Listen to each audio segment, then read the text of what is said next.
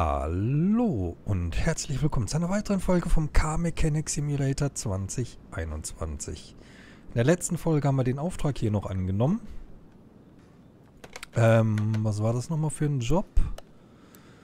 Bremsen sind schlecht, müssen wir Teile finden. Äh, ja, wir können jetzt auf den Diagnosepfad, wir haben ihn jetzt, ja. So. Testen wir den doch direkt mal aus. Äh...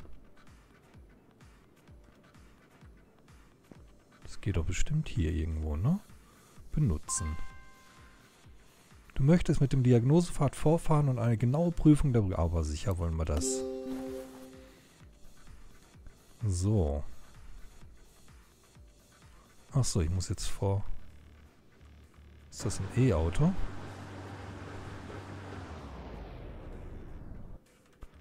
Ist ein E-Auto, ja. Offenbar.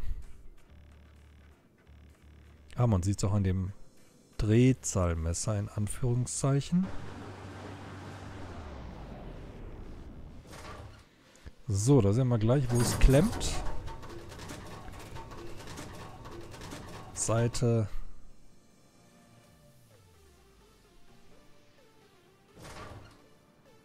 äh, vorne rechts und hinten links haben wir ein Problem. So, nun steigen wir mal aus. So, perfekt. Dann wissen wir jetzt, wo wir suchen müssen. Rest ist in Ordnung, sehr gut.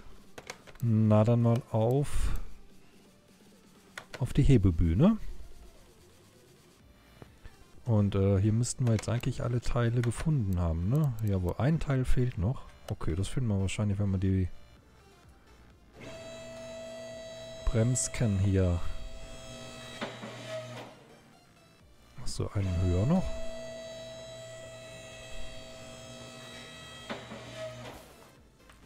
So. Äh, Felge runter. Können wir mal gucken, ob wir die Bremsscheiben reparieren können, ne? Weil das geht ja jetzt auch alles. So. Beläge weg.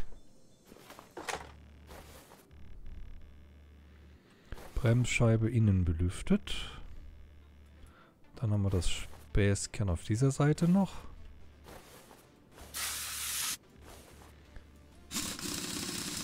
Irgendein Teil haben wir noch nicht gefunden. Ach, das könnte das ABS-Aggregat sein, ne? Genau da. Okay. Dann wissen wir jetzt auch, welches wir da noch nicht gefunden haben. So, jetzt gucken wir mal, was wir wiederverwerten können oder reparieren können. Zum einen haben wir hier ja unseren schicken Bremsenprüfstand. Wir haben keine passenden Ersatzteile. Okay, müssen wir also ersetzen. Was haben wir hier? Den da wollen wir reparieren.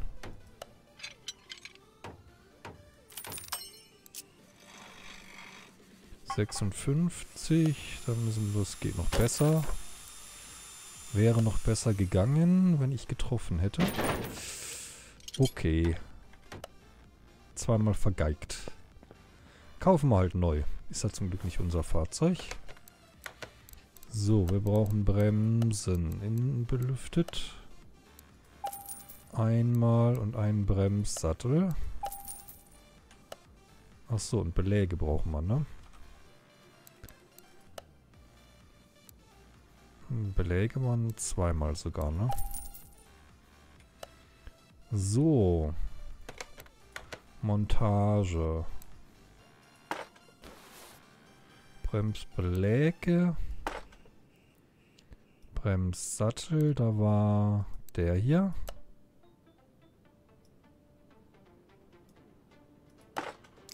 Machen wir mal so. Und drauf mit der Felge. Perfekt.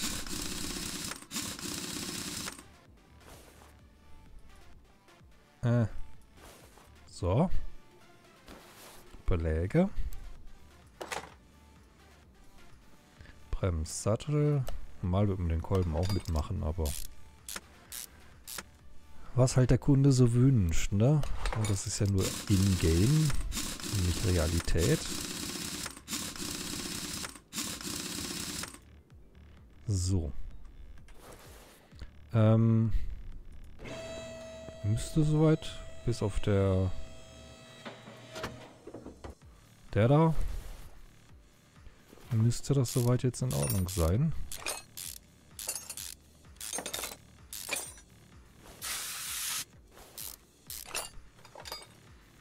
Das müssen wir abbauen.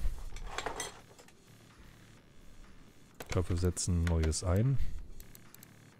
Und vielleicht können wir das andere reparieren und dann können wir es halt noch verkaufen. Oder künftige Fahrzeuge von uns einsetzen.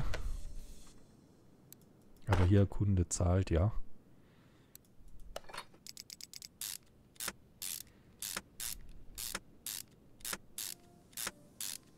Deswegen so, das müssten wir alles haben eigentlich. Bremssattel Typ A.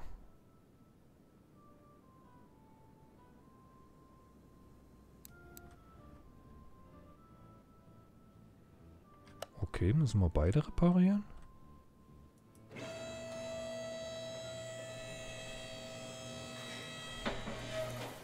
Oder habe ich den an die falsche Stelle gebaut?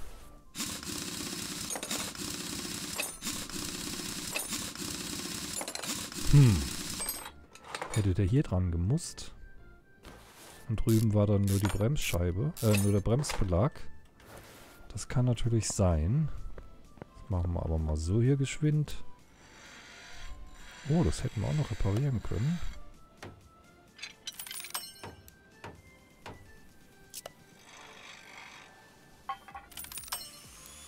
Hm. So.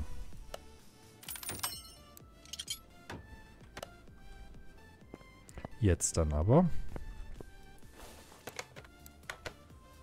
Reparatur ist ja nicht so aufwendig.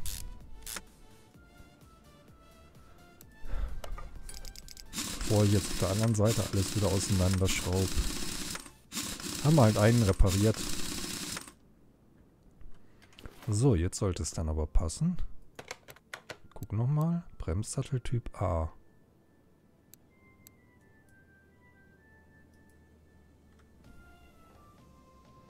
Ist das der Bolzen da drin? Hab ich da den falschen erwischt? Ihr kennt das Spielchen ja, ne? Man hat auch zwei Bolzen. Der eine kam von der einen Seite, der andere von der anderen Seite. Und... Jetzt habe ich wahrscheinlich den von da drüben auf dieser Seite hier eingebaut. Und dann akzeptiert das Spiel das nicht. So, haben wir auch den noch repariert.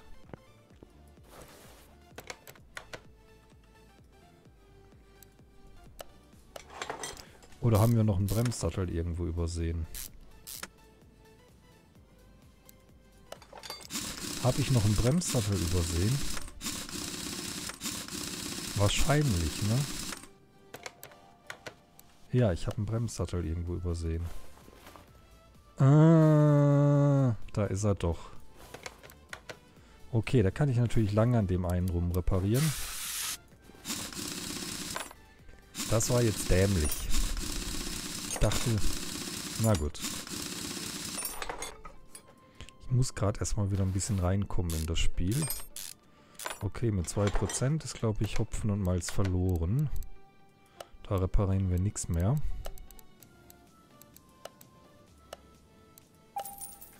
Den kaufen wir neu.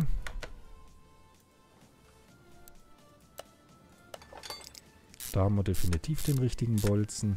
Ja, da ist vorne eine general überholte Bremse. Der Kunde, weil wir nicht imstande waren, oder weil ich nicht imstande war, das hier richtig zu sehen.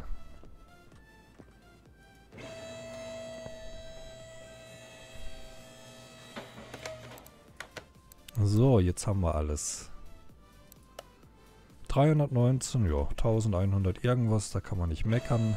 Stellen es dem Kunden noch raus, dann kann er das bei Gelegenheit mal abholen. So, Stellplatz. Sehr gut. Und Auftrag fertig. Perfekt. Ähm, ja, wir brauchen einen neuen Auftrag, ne? Das war noch der Challenge. Ja, der Kampagnenauftrag, so. Ähm,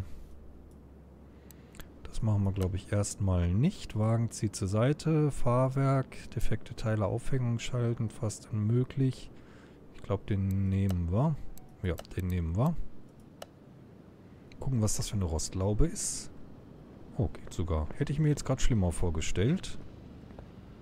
Ähm, machen wir erstmal eine Probefahrt, würde ich sagen. Ne? Haben wir eigentlich schon, müsste man eigentlich eh mal machen, immer. Vorher. Ähm, weil es, glaube ich, auch Punkte gibt, ne? Teststrecke. Mit dem da. Der andere fährt noch nicht. Fahren. Gucken wir mal.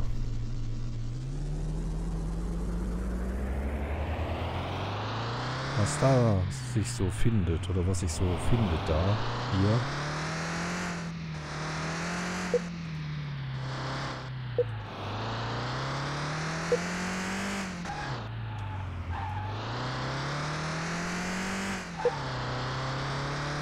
Beschleunigen wir.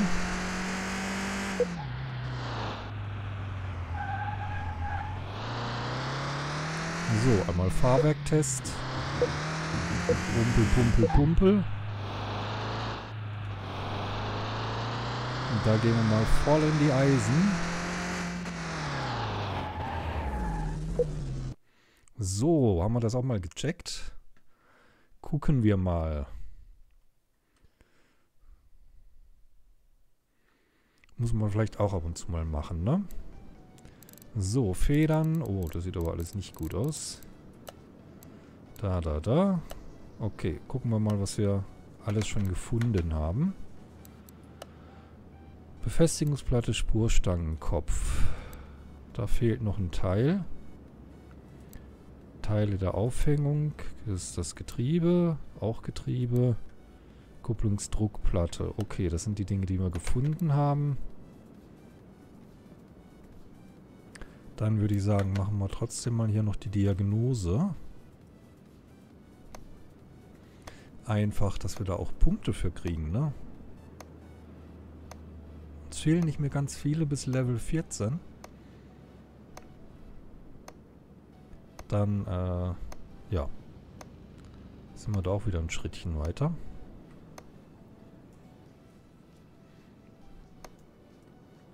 Hm, hm, hm. Teile davon haben wir jetzt schon mit mit dem ähm, Dingstest rausgefunden.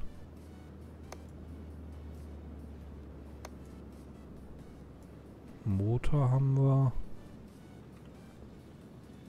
Luftfilter. Batterie können wir nicht. Abgas an. Achso, das sind drei. Da haben wir noch einen. Da haben wir noch einen. Da haben wir noch zwei. Da haben wir noch fünf. Also man hat schon einiges aufgedeckt durch unsere Fahrstrecke. So, das war's. Ähm bewegen wir es mal auf die Hebebühne. Müssen wir echt gucken, dass wir die andere da bald mal frei kriegen. Aber da fehlen uns halt noch ein paar Teile. Sowohl Karosserie. Kann ich bei so irgendwas reparieren, was ich... Nee, ich hatte ja alles, ne? Ne, wir haben keine passenden Teile.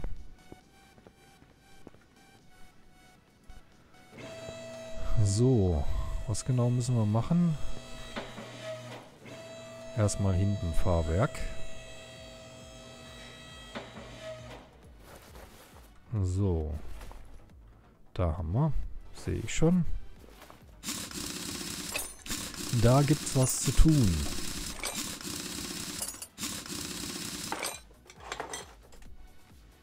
Äh, Bremse muss runter. Das ist übrigens hier so der Unterschied zum Profi-Modus. Dass ich äh, hier die Schrauben angezeigt bekomme. Nicht Pro, also im Profi-Modus würde ich die nicht angezeigt bekommen und müsste auch von hier hinten her schrauben. Könnte also definitiv nicht von vorne her. So, und da können wir hier gerade mal noch die Platte machen. Ups. Oh, und da hinten der Stoßdämpfer ist kaputt, sehe ich.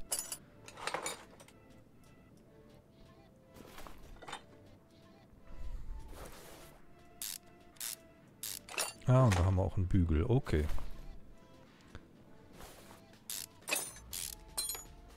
So. Bügel brauchen wir neu. Wie viel eigentlich? So, ein so eine Platte. War das jetzt ein Bügel? Ich weiß gar nicht, wie waren denn die Bügel auf der anderen Seite? Hm. Stoßdämpfer können wir direkt noch holen.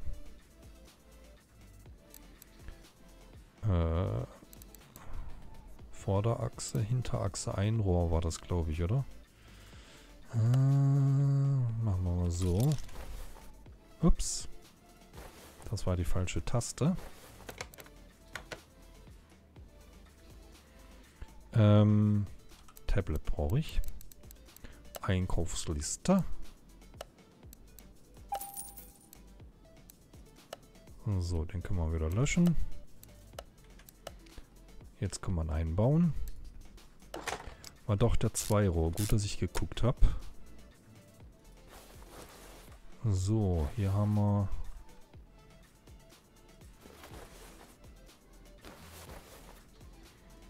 Die Befestigungsplatte. Das weiß ich gerade gar nicht, wie gesagt, wegen den Bügeln.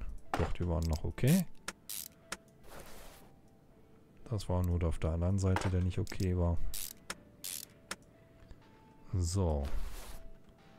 Das nehmen wir direkt in die Einkaufsliste.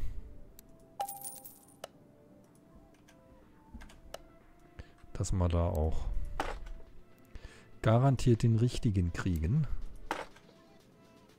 So, Steckachse. Ja, also das, was ich jetzt mache, also von dieser Seite schrauben, das wäre nicht gegangen im Profi-Modus.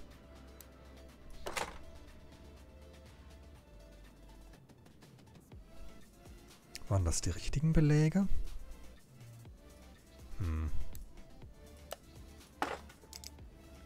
Muss ja eigentlich, ne? So, Felge noch. Dann sollten wir den ersten Teil schon mal erledigt haben. So. Spurstangenkopf vorne fehlt noch, okay. Da vor Federvorderachse fehlt noch. Da haben wir einen Teil noch nicht gefunden. In der Aufhängung. Kann aber auch vorne sein. Deswegen werden wir jetzt uns mal zur Vorderachse wenden. So, hier ist irgendwo ein Spurstangenkopf nicht in Ordnung. Der sieht gut aus. Gucken wir mal die Gummilagerbuchsen an, weil die sind auch immer so ein Kandidat. Die sieht aber gut aus. Die auch. Die auch. Da ist der Spurstangenkopf. Da machen wir mal die Seite lose.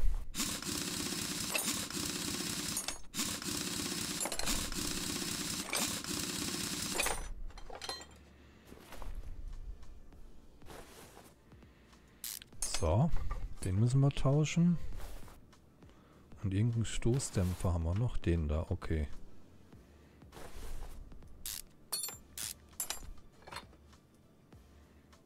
Machen wir den auch mal lose.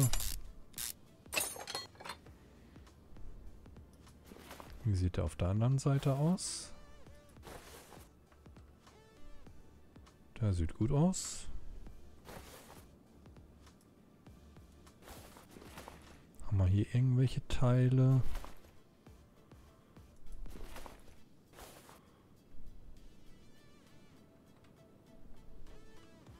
Ich weiß mal nicht, ob da eine Buchse drin ist. Also ich weiß, dass eine Buchse drin ist, aber ich weiß nicht, in welchem Zustand die ist.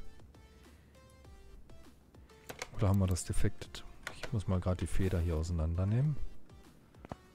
Oder das Federbein auseinandernehmen, sagen wir es mal so. Ah, ich glaube, dann haben wir auch schon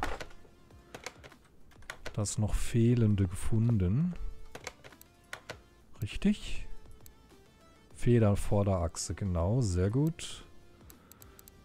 Da haben wir das Domlager noch. Da ist noch was im Getriebe. Ja, da haben wir die alle Fahrwerksteile gefunden. Sehr gut. Ähm, Tablet. Wir brauchen Federvorderachse.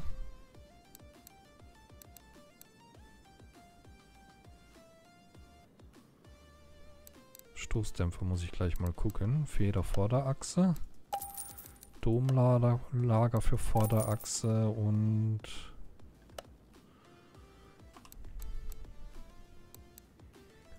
McPersion war das. Äh, will ich nicht. Ich will das aber zur Einkaufsliste hinzufügen. Achso, den brauchen wir auch. Sehr gut. Einkaufsliste. Einmal. Teil kaufen. Teil kaufen. So. Suche löschen.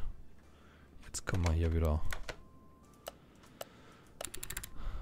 Machbar ist aber dann in der Regel eigentlich auch beide Seiten. Nicht nur eine, wie hier jetzt gerade. Aber, wie gesagt, ist ein Spiel. Da kann man sowas dann nochmal machen zur Not.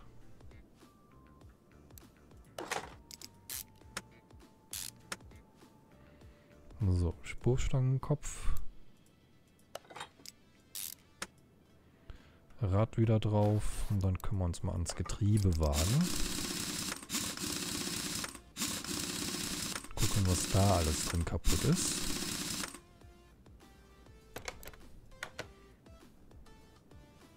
So, einmal, upsala, Kardanwelle abschrauben.